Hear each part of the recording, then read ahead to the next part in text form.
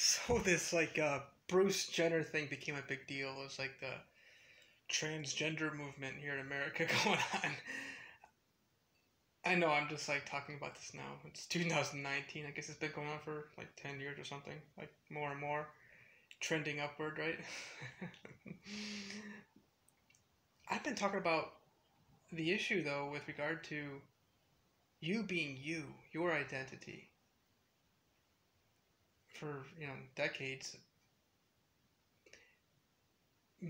Men are not men when they are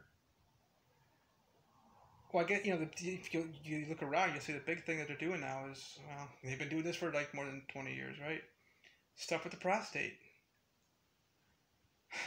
Dude, I think it's Japan. They do like they actually have like these clinics whereby they have like people that like massage a man's prostate. It's very healthy.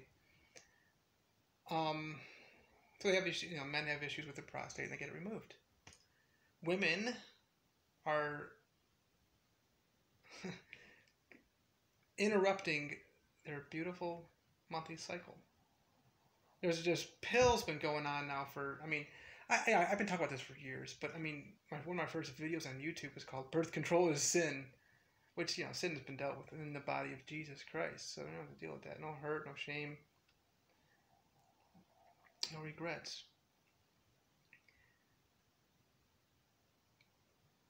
You're not being a woman when you're using the birth control pill. oh, that's offensive, right?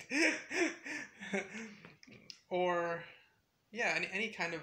You're not being a mother when you're using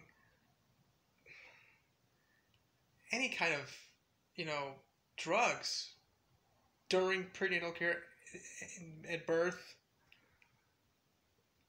The child gets that stuff too. So, hello. so, you, you, you, see what's going on here? It's not just a, a, a transgender; it's a neutral gender thing.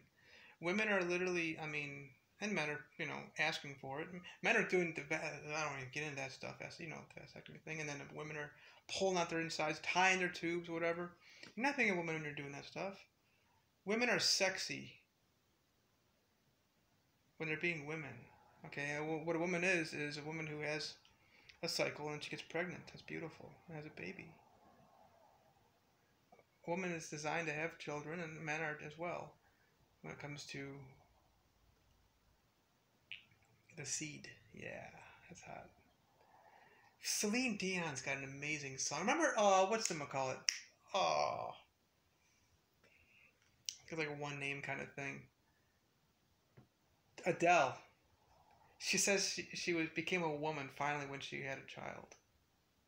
But it's really ridiculous. She's always been a woman, but the reality is this.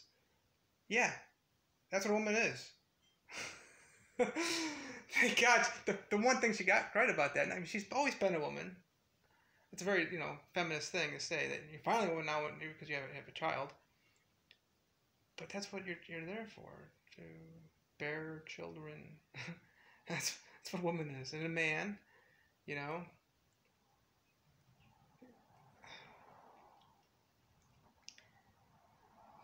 enjoy your prostate. Keep it, guys. Don't let those doctors fuck around with it, alright? Ladies, enjoy your ovaries, your uterus. It's so beautiful. Clit, yeah, it's hot.